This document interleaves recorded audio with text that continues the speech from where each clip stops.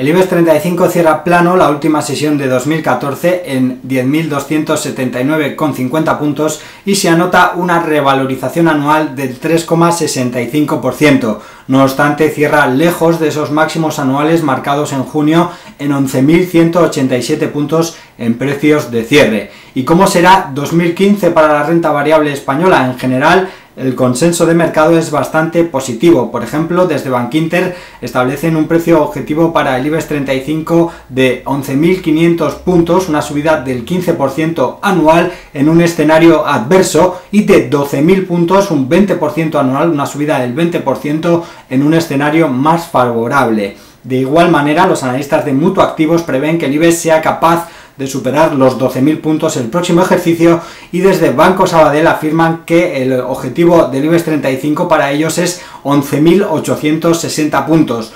Como dicen los analistas de Bankinter, con el recorrido de los bonos prácticamente agotados y ante la ausencia de otros productos de inversión atractivos, como pudieran ser los depósitos en otros ejercicios, el dinero de los inversores se dirigirá hacia el sector inmobiliario y hacia la renta variable.